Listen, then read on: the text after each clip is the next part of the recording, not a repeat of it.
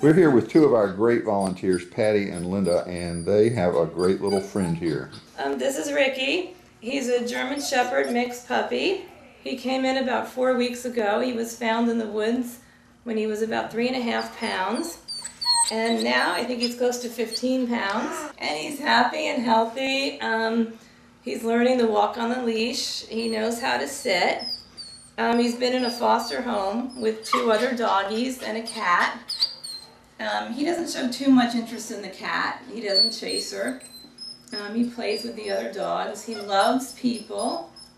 And Linda, you took him for his first walk today, huh? We think. Was this, was His first dog walk. walk. first dog walk walk. I think yes. you did it extremely well. You did better than some of the big dogs, big bo- boys and girls.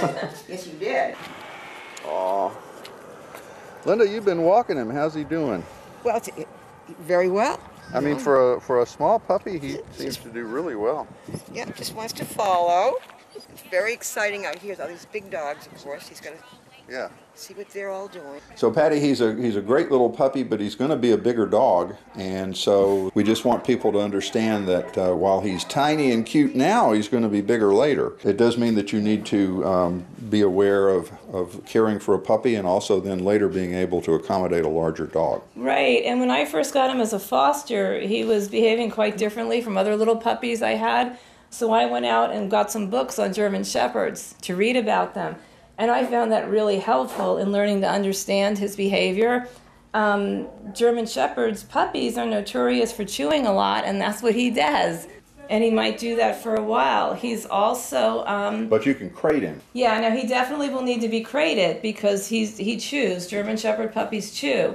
Um, he's also um, he's his own man. You know, um, German Shepherds can be dominant, try to dominate inexperienced owners. And um, I can see the way he behaves a little bit when he wants to do something and you don't want him to. He'll protest a little more than you know some other dogs do.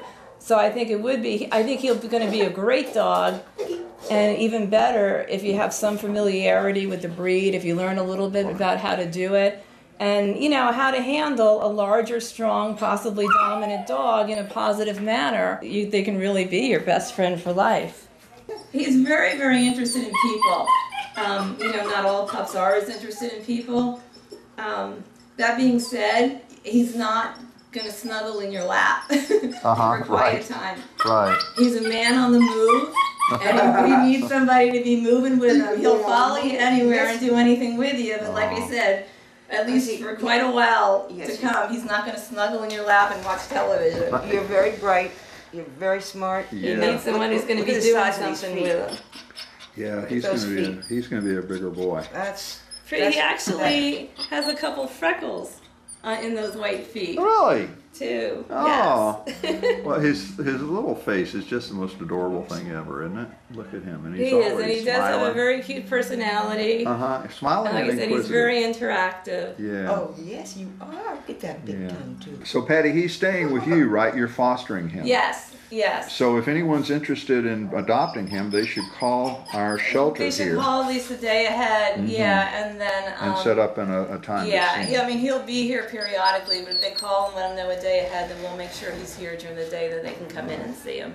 So if you're a, a dog lover and you're familiar with both how to deal with puppies and how to deal with larger dogs when they get older, then boy, look at that face, huh? That's how. I guess his full name is Ricky Ricardo, huh? Uh, well, we were calling him Little Ricky, Little Ricky, yes, there Yeah. you go. and that's because when my husband came home and found out I had another little foster puppy in the house, he said, "Lucy, you got some explaining to do. that's great. Well, you'll have some explaining to do if you aren't just in love with Little Ricky because he's just so good. So, if you're interested in Little Ricky, please give us a call here at the Nassau Humane Society at uh, 321 1647. Oh, somebody's calling now. How about Please come see Little Ricky.